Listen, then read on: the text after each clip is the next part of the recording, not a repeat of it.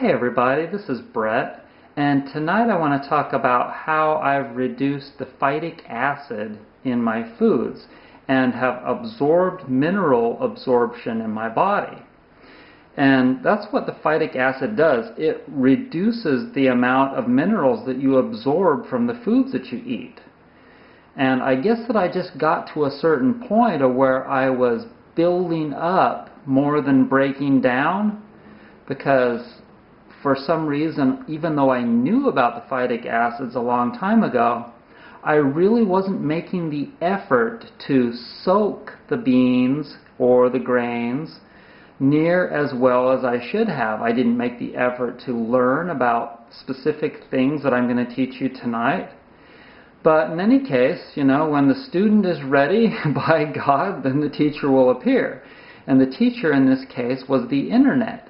And I learned that when you soak grains or beans, nuts or seeds, in a warm temperature of like 100, 110 degrees, with an acidic food like apple cider vinegar or lemon juice, then it draws out that phytic acid.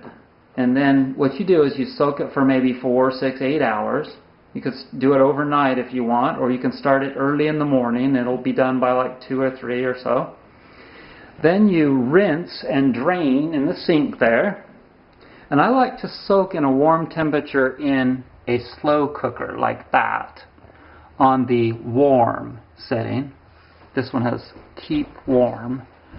And then you strain and then you can cook it and it will have reduced the phytic acid significantly, depending on how long you soaked it for and how much apple cider vinegar you use. But in any case, then you'll be able to absorb minerals like zinc and iron, calcium, magnesium, etc. a lot better.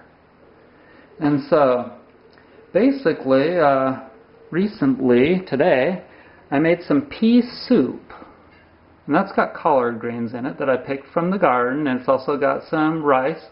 And I, I just kind of made a goulash there, and mixed a whole bunch of things together. But all my grains now, I soak all of them, and the beans, I soak all of that, as well as, see those nuts up there? Walnuts. those were soaked overnight. I like to soak those in, in salt instead and I don't know exactly why, but I learned that before somewhere else. But in any case, it just tastes different. The food tastes different, especially beans. Beans are not near as creamy. It makes them kind of more fibrous when you remove all the phytates. It totally changes the way they taste, and you have to get used to it. So um, be prepared for that. And, you know, change is inevitable. and that includes diet too. So, I think that's all I want to say on this subject. Thanks for joining me. Hope you're well.